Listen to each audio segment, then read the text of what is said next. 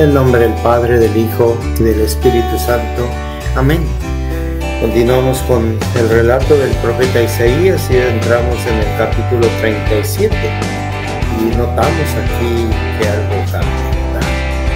Ya se, ha, está ha pasado de la etapa en la cual Isaías eh, comunica, habla todos los pecados en general, de cómo la ira del Señor se ha desatado, eh, de cómo pide en general Dios que se arrepientan, que vuelvan al camino, este, señala lo que han hecho. Y ahora notamos un poquito, ustedes van a observar, ¿verdad? Este, qué es lo que cambia ahora. Cuando el rey Ezequías lo oyó, se rasgó las vestiduras, se vistió de saco y entró en el templo del Señor Luego envió a Eliakim, que era el mayordomo, a Sepna, el escriba, y a los ancianos de entre los sacerdotes vestidos de saco, a donde estaba Isaías, hijo de Amós, el profeta. Y le dijeron, esto ha dicho Ezequías, hoy es un día de angustia, de castigo y de blasfemia, que los hijos han llegado al momento del parto y faltan fuerzas para darlos a luz El Señor tu Dios ha oído la palabra del jefe de los coperos, enviado por su Señor el rey de Asiria, para desafiar al Dios vivo y le castigue por las palabras que han oído el Señor tu Dios. Eleva tu oración por el resto que queda. Los siervos del rey Ezequías llegaron a donde estaba Isaías y éste les dijo, esto comunicarán a su Señor, así dice el Señor no temas por las palabras que has oído, con las que los siervos del rey de Asiria me han ofendido. Mira, voy a infundirles un espíritu, escuchará una noticia y volverá a su país, ahí le haré morir a espada. Y entonces aquí nada, toda esta, esta narración, esta, este drama, este, pero sí se dieron cuenta lo que sucedió. Ya ahora Isaías está en un, en, una vida eh, de profecía activa, dialoga con el rey, manda decir lo que el Señor le dice, aconseja. Entonces, totalmente ha cambiado todo eh, como estábamos leyendo al profeta Isaías, ¿verdad? Y aquí meditamos en este otro capítulo, el capítulo, el mismo 37, pero... Uh, No, el capítulo 38. En aquellos días Ezequías se enfermó de muerte y se acercó hasta Isaías, hijo de Amós, el profeta, y le dijo, esto dice el Señor, ordena lo referente a tu casa porque vas a morir y no vivirás más. Entonces Ezequías volvió su rostro contra la pared y oró al Señor diciendo, ay Señor, recuerda que has caminado en tu presencia que he caminado en tu presencia con fidelidad y sincero corazón y he hecho lo que es agradable a tus ojos.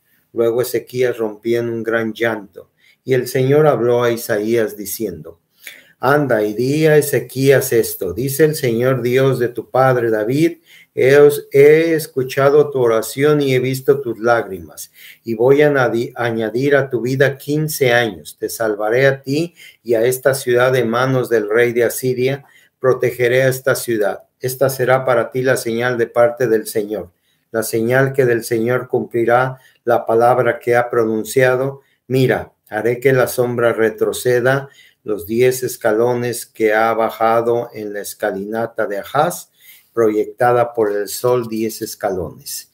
Y el sol retrocedió diez escalones que había bajado en la escalinata. Y después viene el, poema de Ezequías, y el Señor lo sanó el Señor lo sanó. ¿Por qué? Por su, por su penitencia, porque verdaderamente se arrepintió de corazón. Y luego el, capítulo,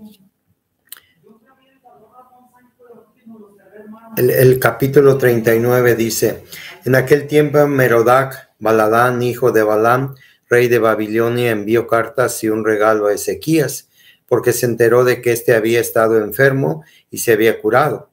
Ezequiel se alegró por ello y mostró a los emisarios el salón del tesoro, la plata y el oro, los bálsamos, el aceite aromático, el salón de las armas y cuanto había en sus tesoros. No hubo nada que no le mostrara Ezequías en su palacio y en todos sus dominios. Entonces vino el profeta Isaías al rey Ezequías y le preguntó, ¿qué has dicho a estos hombres de donde han venido hasta ti? Ezequiel respondió, han venido a mí de un país lejano de Babilonia. Le preguntó, ¿qué han visto en tu casa? Ezequiel contestó, han visto todo lo que hay en mi casa. No hay nada en mis tesoros que no les haya mostrado. Dijo entonces Isaías a Ezequías, escucha la palabra del Señor de los ejércitos. He aquí que llegan días en que todo lo que hay en tu casa y cuanto atesoran tus padres será llevado a Babilonia sin que quede nada lo ha dicho el Señor, tomarán a tus hijos que procedan de ti que y que tú engendraste, y los convertirán en eunucos del palacio del rey de Babilonia. Qué, qué interesante este diálogo. Eh, nos parece mostrar que, que Ezequías fue imprudente y, y suscitó la ambición de Babilonia de conquistar al pueblo hebreo y cosa que sucedió y recuerdan que después viene el exilio, ¿verdad?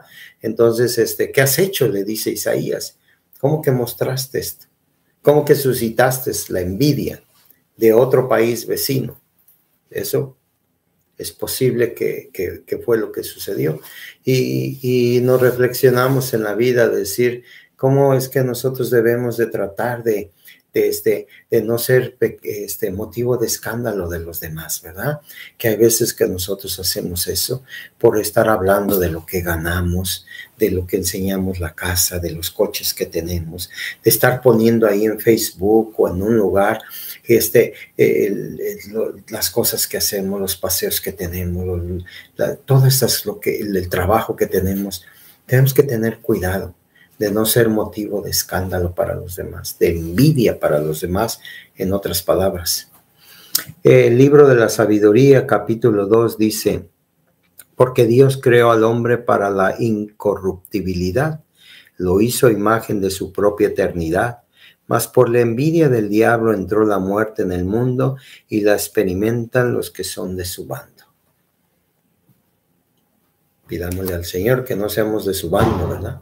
La primera carta a los Corintios, capítulo 14, versículo 13 dice, por eso el que habla en lenguas que pide el don de interpretación, pues si rezo en lenguas, mi espíritu reza, pero mi mente queda sin fruto. ¿Qué hacer entonces? Rezaré con el espíritu, pero rezaré también con la mente. Cantaré salmos con el espíritu, pero los cantaré también con la mente. Después en el versículo 22 dice, pues las lenguas son signos no para los creyentes, sino para los incrédulos.